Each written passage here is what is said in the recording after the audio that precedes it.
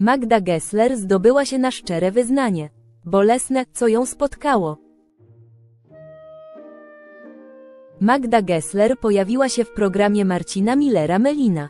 Podczas rozmowy prowadząca kuchenne rewolucje postanowiła opowiedzieć o traumach ze swojej przeszłości. Okazało się, że restauratorka aż dwukrotnie pochowała męża. To jednak jeszcze nie koniec jej rodzinnych tragedii. Magda Gessler ma za sobą kilka małżeństw. Nie każdy wie, że Magda Gessler kilka razy stawała na ślubnym kobiercu.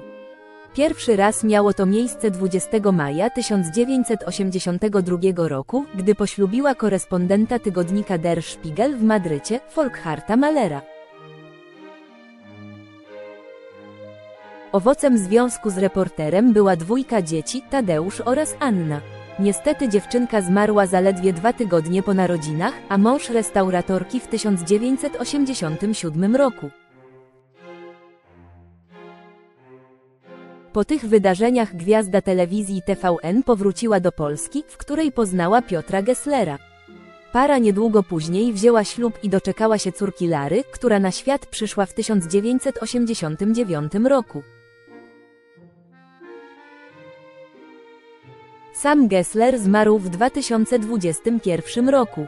Ich związek zakończył się jednak zdecydowanie wcześniej, ponieważ już na początku XXI wieku gwiazda związana była z lekarzem mieszkającym w Toronto, Waldemarem Kozerawskim. Teraz na jaw wyszło, że skomplikowane życie miłosne to nie jedyne tragedie w życiu restauratorki. Magda Gessler przeżyła rodzinną traumę.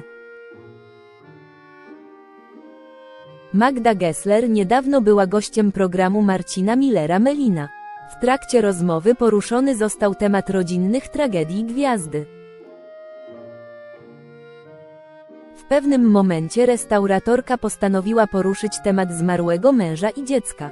Okazało się, że ich odejście odbiło ogromne piętno na dalszym życiu późniejszej twarzy telewizji TVN. Za blisko śmierci byłam w bardzo wielu momentach mojego życia. Nikt nie wie, że jestem dwukrotną wdową i umarło mi moje pierwsze dziecko miesiąc po porodzie. To wszystko stanowi taki czarny scenariusz, kiedy w zasadzie to nie powinno się w ogóle wydarzyć.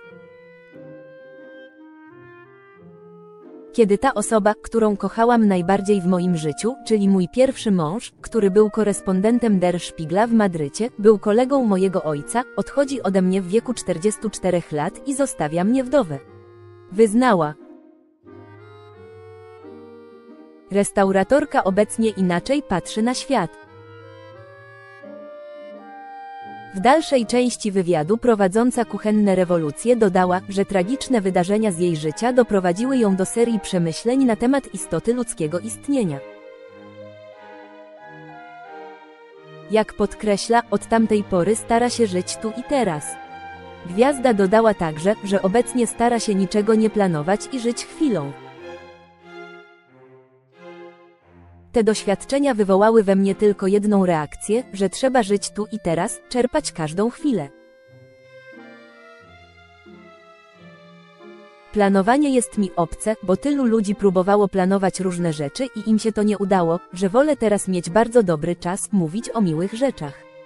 Smutne rzeczy raczej mnie smucą, niż rozwijają, zakończyła. Przypomnijmy, że Magda Gessler jest jedną z twarzy telewizji TVN. Tej jesieni widzowie mogą ją oglądać w programie Kuchenne Rewolucje oraz obserwować w roli jurorki popularnego Masterchefa. Oba programy znaleźć można na głównym kanale nadawcy w czwartkowe i niedzielne wieczory.